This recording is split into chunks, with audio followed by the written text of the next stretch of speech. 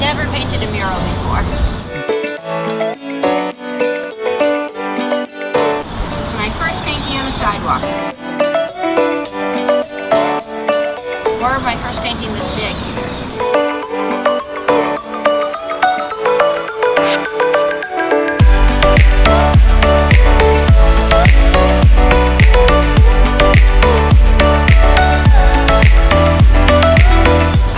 Realize how many layers of paint I would have to put down, so I think that's been the biggest thing that surprised me.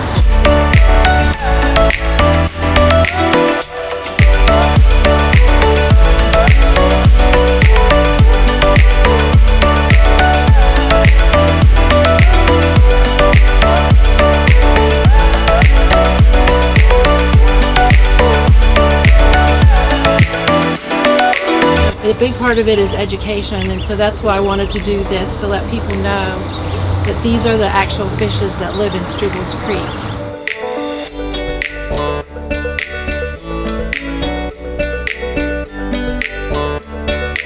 And uh, the big guy here, the chub, he makes a nest of stones in the creek, by the chubs as well as this, the three other fishes. There's a saffron shiner, another shiner, and a red-bellied dace. So,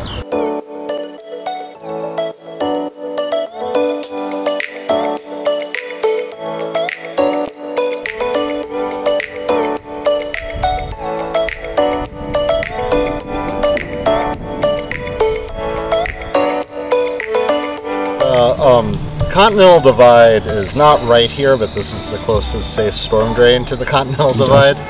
Um, so roughly, water that goes falls over there is going to the Roanoke River and to the Atlantic Ocean. Um, water that falls over that way is going to New York, to the New River, and eventually to the Gulf of Mexico.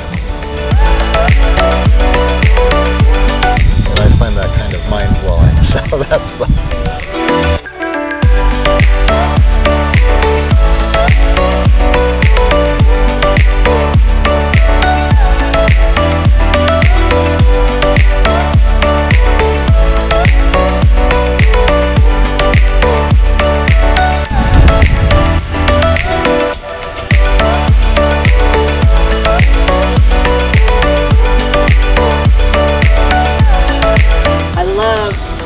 Process of